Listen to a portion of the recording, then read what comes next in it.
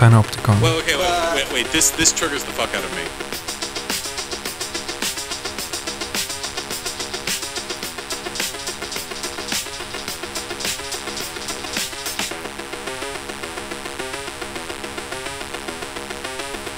Panopticon. I can speak up on this. This triggers the fuck out of me. The Guardian, March 13th. Swedes are expected to prepare for emergencies. Coronavirus shows why Britons should be too.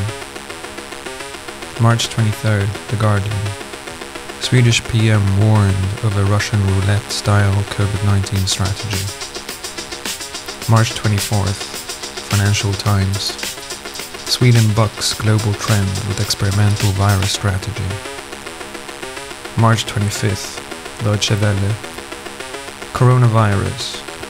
Sweden still skiing despite concerns. March 28th, The New York Times. In the coronavirus fight in Scandinavia, Sweden stands apart. March 29th, Fox News. Sweden remains open as other countries lock down with the coronavirus. March 30th, CNBC.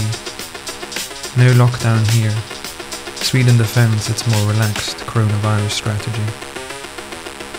March 31st, The Sun.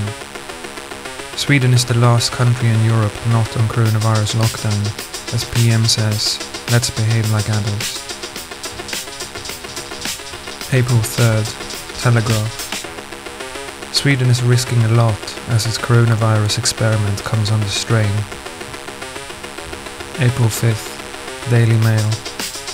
Scientist leading Sweden's battle against coronavirus says Britain's lockdown has gone too far, as his country allows bars, restaurants, and schools to remain open. April 7th, New Statesman. Why Sweden is Europe's coronavirus outlier and what it means. April 9th, Vox. Sweden's government has tried a risky coronavirus strategy. It could backfire. April 13th, ABC News. As virus deaths rise, Sweden sticks to low scale lockdown. April 14th, Fox News. Sweden avoids wide reaching coronavirus lockdown despite other countries' tougher actions. Um, there are really only two things that we know to be true. One is that no one knows uh, the true number of infected because we can only, in the absolute best case, uh, know the confirmed cases of people that we've actually tested. Uh, and once you start to layer in this uh, autocratic, or I would argue more authoritarian uh, type of policy structure, um, what you end up seeing is that instead of policy being guided by science and facts, uh, you begin to see things like information releases uh, becoming political decisions. April 15th, The Guardian. Critics question Sweden's approach as coronavirus death toll reaches 1,000. April 16th, Telegraph. Sweden has shown how not to tackle coronavirus as it fights now to save face. April 17th, Project Syndicate. The grim truth about the Swedish model. April 21st, Foreign Policy. The hidden flaw in Sweden's anti-lockdown strategy. April 24th, Forbes. Sweden health chief admits it's not over as coronavirus cases leap. April 26th, The Times. Anders Tegnell, the man who convinced Sweden not to go into lockdown. April 27th, Euronews. Sweden's coronavirus strategy. Is the older generation paying the price? April 30th, Daily Mail. Sweden's top virologist admits mistakes in reacting to coronavirus as country records second highest number of daily infections, but refusing to introduce lockdown is not among them. May 1st, The Guardian. Has Sweden's coronavirus strategy played into the hands of nationalists? May 4th, Business Insider.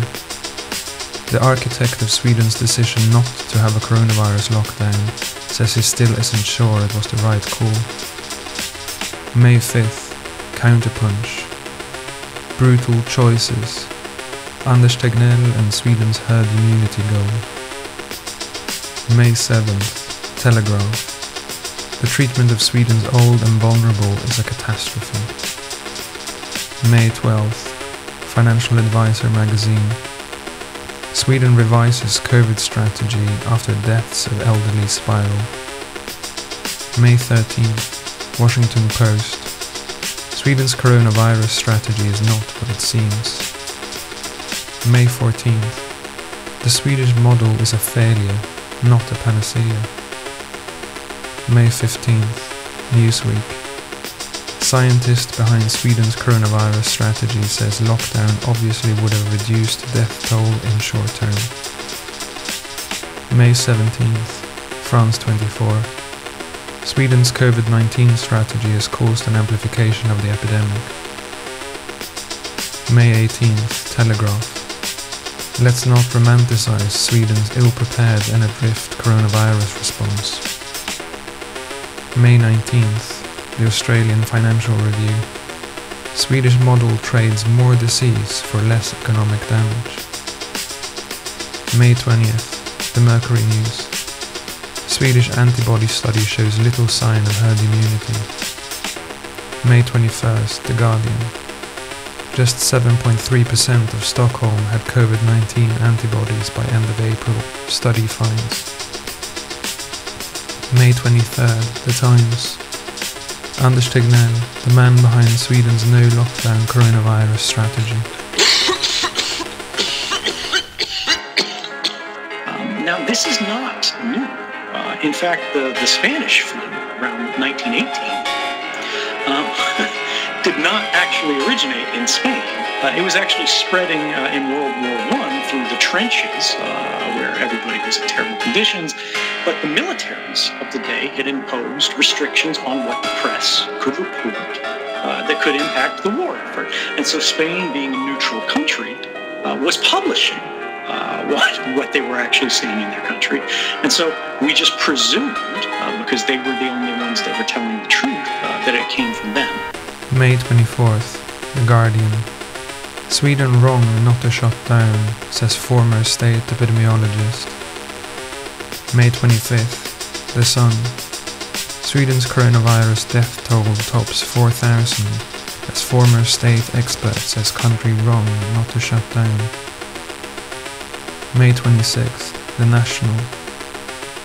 Swedish epidemiologist is sent death threats for COVID 19 response. May 29th, Wired.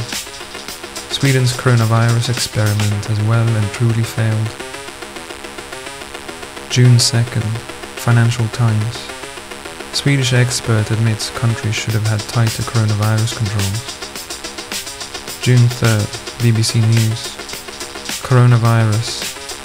Sweden's Tegnell admits too many died. June 3rd, The Guardian.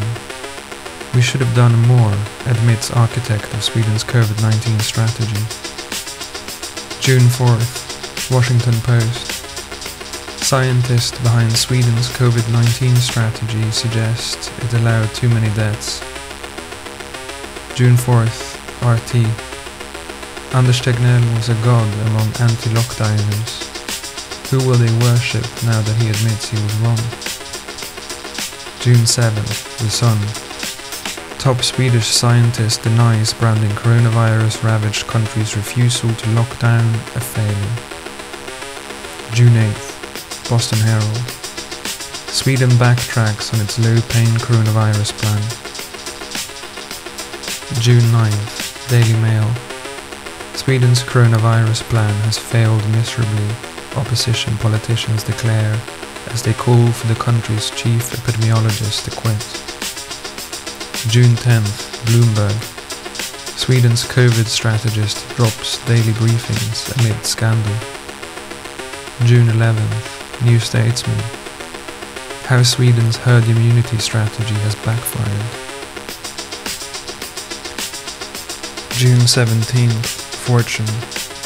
Sweden's top epidemiologist at a loss to explain why herd immunity is going surprisingly slow.